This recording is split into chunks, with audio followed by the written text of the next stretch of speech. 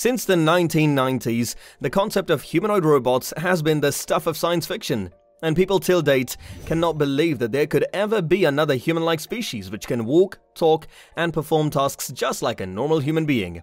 But are these humanoid robots for real? Will these robots be a danger to humans?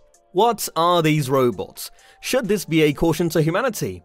Keep watching the video to know more. From Steven Spielberg's AI to iRobot, humanoid robots have always been the stuff in science fiction, and something that people never believed to be real. For centuries, the futurists have predicted the dawn of a new species, a robot. These mechanical robots would not only be able to do mechanical marvels like walk and talk, but they would also be able to handle each and every task of humans which we were being too lazy to do. From tasks like simple chores, bringing vegetables from the market, to even mining, robots are said to be the future of manual labor. Even though robots are now commonly used in industries and big companies worldwide, the use of robots instead of humans still blows the mind of people. But even though the tiny human brain might not seem to be taking this fact in it, we have to understand that the future is here. With that being said, let's talk about what you came here for. Number 1. Every time you talk to a customer service agent, it is assumed that a normal person would be talking to you. But what if your assumptions were wrong, and you could be talking to a speaking robot? That's exactly what Nadine is. It's the most human-like humanoid robot in the world. With a human-like body and lifelike features, Nadine is the closest to what a robot could be to a human. She is designed to even recognize you from your previous visit, shake hands, make conversation, keep an eye contact, and also make you believe that you are talking to a real human. It has depth cameras, a microphone, and a webcam to gather visuals and audio inputs. It can also make conversations in six different languages. Developed in Japan by the Kokoro Japan, with the software developed at the Nanyang Technological University in Singapore, she is currently employed as a customer service agent at AIA Singapore Insurance Company. Yes, employed. Number 2. While people are still not able to read emotions of people, Pepper can read them. The robot is designed to recognize human faces and detect different types of human emotions, which enables it to make interactions with humans through artificially intelligent conversations, gestures, and its touchscreen. It is a robot that is built with the thought of human-robot interaction and to evolve social bonds between the two beings. That is, if robots could be called beings. Manufactured by SoftBank Robotics, this semi-humanoid robot is developed in such a way that it can understand more than 15 languages, recognize which language the person is speaking, and also make intelligent interactions with the person being talked to. Unlike other robots, which are industry specific and cannot be bought outside the country, Pepper can be bought by a normal human. That too, online. More than 3,000 companies have adopted their own Pepper to welcome and guide their visitors. Robots like Pepper's are a sweet spot to impress visitors and investors. It has already made an impressive appearance in the open days of the School of Science, where it has been the spotlight of attraction in the computer science department. It was reported that the visitors were very impressed by the interactive capabilities of the robot mingled with light humor. The robot has already made its career by helping the undergraduate students in their final year project. Number 3. Ever thought of a news anchor being a robot? Have the thought of getting the latest updates about the world from a robotic news anchor? Well, to your surprise, this has actually become true. Erica, a human-like robot created by Hiroshi Ishiguro from the Intelligent Robotics Laboratory, is one of the most intelligent humanoid robots developed in Japan, once again. It is developed in such a way that she can easily interact with human beings and make changes to her facial expressions according to the conversation being made.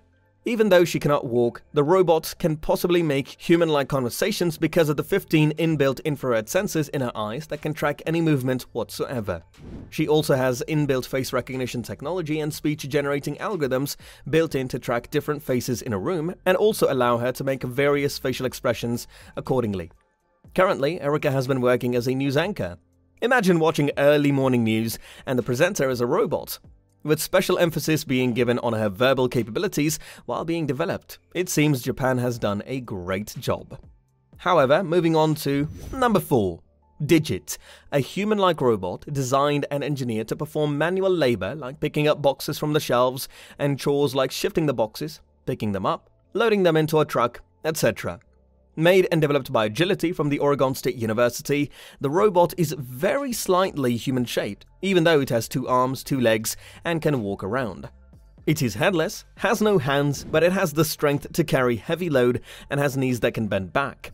Unlike humans, and has a great strength and durability which allows it to carry out tasks autonomously without any hindrance. This bipedal robot that has been going by the name of Digit, there have been reports from the agility team that they have added an upper torso, arms, sensors, and additional computing power to their successful Cassie robot design, which will now be the Digit robot. The robot has gotten quite famous, so much so that it can now be bought online for an obviously sky-high price. So if you are looking to buy a robot that can accompany you in your day-to-day -day tasks, Digit can be your go-to. Number 5. Junko Chihira a humanoid robot working in a shopping center on Tokyo's waterfront who has been answering all of the local tourists' questions for a while now. Developed by Toshiba, using the technology created by Hiroshi Ishiguro, who also created Erica, which we talked about earlier, she has incredible skills and a wide range of facial expressions, which helps her in greeting the tourists in English, Japanese, Chinese, and many other languages thus making the communication easier and make the tourist feel like home. The local tour guide is embedded with speech synthesis technology, machine learning, and natural language processing, which enable her to comprehend, process the information, and make accurate answers to the tourist questions. She and four other androids cost around 10 million yen, about $93,000 to produce, but only Junko Chihira is currently out in public, while the others remain with their maker. It is also programmed to make sign languages, thus helping the hearing impaired tourists. Junko Chihira was developed specifically for the tourism and travel industry, and it seems like she is doing a great job.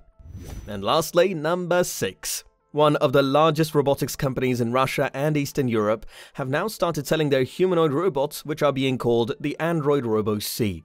They have a physical appearance resembling any person they wish to, these robots have anthropomorphic machines that are capable of mimicking human expressions, which include moving the eyes, eyebrows, lips, etc. And it can also support conversations, all thanks to technologies like artificial intelligence and machine learning. It has been reported that the Robo-C is capable of reproducing more than 600 variants of human microfacial expressions. Thus, they can be used both for commercial as well as personal use. It has been estimated that these robots have the capability of replacing employees in banks, hotels, malls, and various other companies. Since the robot is also capable of answering the questions of guests and visitors, it can also be employed in shopping malls and museums, whereas if one uses it for personal purposes, they can be used for managing smart homes. Well, that was the last one for today. Do you think robots can take over jobs from humans? Can robots be the reason behind future human unemployment? Can robots be another reason for the Great Depression? Stay tuned to our channel to get all your questions answered. Well, that brings us to the end of this video.